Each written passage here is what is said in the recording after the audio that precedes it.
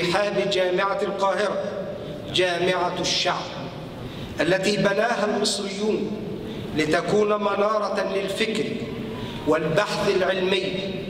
تحارب الجهل والتطرف بما تبسطه من علوم وفنون لأبنائهم. فلنطوي صفحة العنف في الجامعات المصرية وإن شاء الله في مصر كلها ولنبدأ صفحة جديدة. فدعونا نتكلم عن المستقبل. مستقبل مصر مستقبل الجامعات المصرية مستقبل أبنائنا وبناتنا.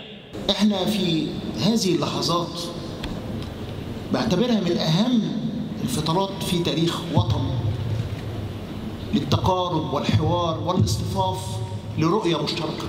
عايزين نبني ونعرف بالظبط تحدياتنا إيه. لكن قبل ما أتكلم وهذه حقيقة لقد حملني السيد الرئيس عبد الفتاح السيسي.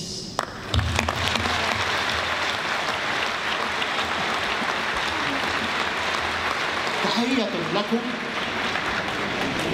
ودعوات مخلصة لأبنائه بأن يكون هذا العام إن شاء الله عام خير وبركة على الجميع.